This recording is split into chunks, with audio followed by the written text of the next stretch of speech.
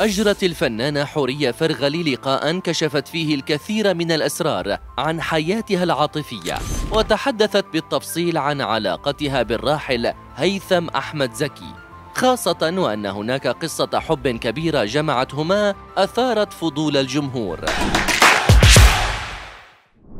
حورية فرغلي تكشف تفاصيل علاقتها بهيثم أحمد زكي عاشت معه قصة حب كبيرة ورحل وهو يحبها. غيرته الشديدة وفارق العمر بينهما كانا سبب انتهاء العلاقة.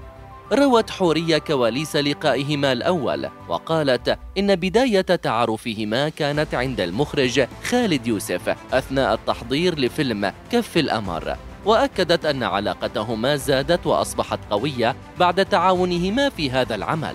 وقالت إنه خلال فترة تعاونهما شعرت ببعض المشاعر تجاهه. لكن علاقتهما لم تستمر بسبب غيرته الزائدة. فقالت إنها كانت تتحدث مع هاني عادل لتقدم له التعازي في رحيل والدته وفوجئت وقتها بهيثم يتعدى عليها بالضرب أمام الجميع وتحدث معها بطريقة غير لائقة وأنهى كلامه معها قائلا يا طنط!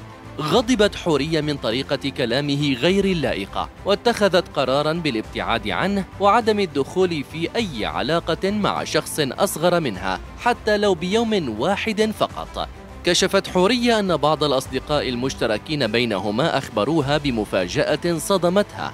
حيث أكد بعضهم أن هيثم توفي وهو ما زال يحبها وأنه كان يتمنى أن يستعيد علاقته العاطفية بها لكن الأمور لم تسر مثل ما كان يريد فارتبط بفتاة أخرى ورحل بشكل مفاجئ.